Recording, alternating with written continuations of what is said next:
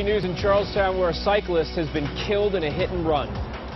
Good evening, everyone. I'm Phil Lipof. I'm J.C. Monahan. The accident happened earlier this afternoon. News Center 5's Pam Cross is live at the scene. Pam? And some three hours later, the investigation still active. Additional crime scene techs just arrived here on Tiny Spice Street in uh, Charlestown. Witnesses say the noise of the accident, first a screech and then horns, was terrible. Me and my uncle, we ran up to the street, to the top of the street to see if there was any signs of the gentleman moving, to see if perhaps maybe we could stabilize him, give him CPR. The mangled bicycle tells a horrible story. The cyclist ride in one second, crush the next. It happened at Sullivan Square, a congested area leading into Charlestown's Rutherford Avenue. It looks like a helmet was left at the scene, the cycle broken.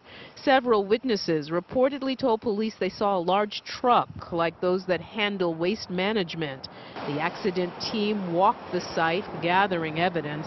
A business owner says fast-moving traffic is an ongoing issue. There is a lot of bikes. Every every day I see five or six when I even come out here. But the trucks and the cars that come by here and they don't stop at the stop signs when they put them up. It's just it's just bad, you know. And so far there is uh, no confirmation of what kind of vehicle they're actually looking for and no identification of the victim. Reporting live from Charlestown, I'm Pam Cross, WCVB News Center 5.